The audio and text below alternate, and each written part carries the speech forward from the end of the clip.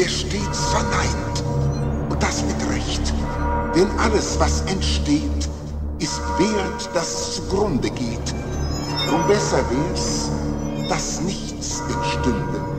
So ist denn alles, was ihre Sünde, Zerstörung, kurz das Böse nennt, mein eigentliches Element.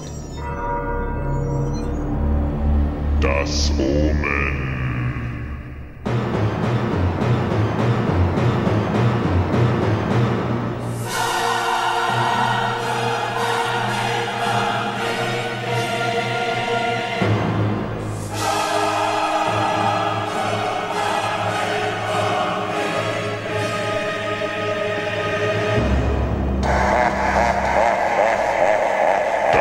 Das Omen.